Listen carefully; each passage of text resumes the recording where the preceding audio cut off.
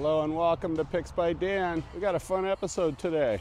We're going to be shooting with Kodachrome. Kodachrome is a film used by Kodak back in the day. It was used a lot by National Geographic and it's a standard, really nice color profile. Took a lot of work to process it, but if you took Kodak, created a scenario where they uh, grew into the digital age and took their film heritage along with it, if that scenario had happened, that's what happened with Fujifilm. Now, Fuji was the Japanese equivalent of Kodak, clear back, way back when, uh, in the 30s and such. They were the Japanese version of Kodak. When digital came along, uh, neither one of them really made cameras. They made a few cameras here and there, but they were mostly just into the film. Digital comes along, Kodak takes a takes a dive in the dirt, Fujifilm embraced their heritage. They created cameras that shot the film profiles and the color science. That's really great for Fuji, but what about Kodak? What if I want to shoot a Kodak film profile? Well, guess what? Fuji X Weekly. Love that site. We're going to be shooting Kodachrome 64, which is a slide film. It's got really good resolution, straight from Fuji X Weekly. That's what we're going to do today. We found a dump site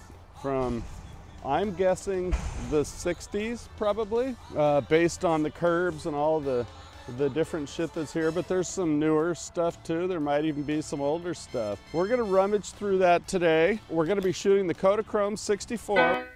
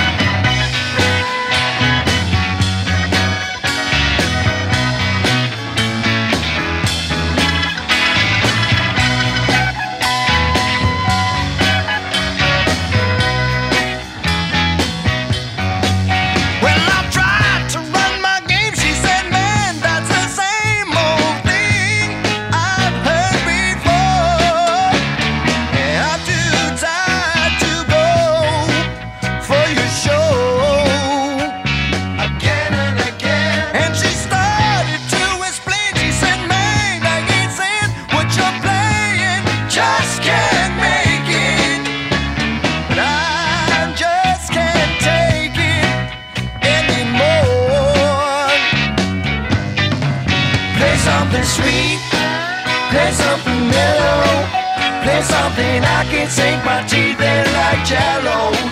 Play something I can understand. Play me some Brickyard Blues.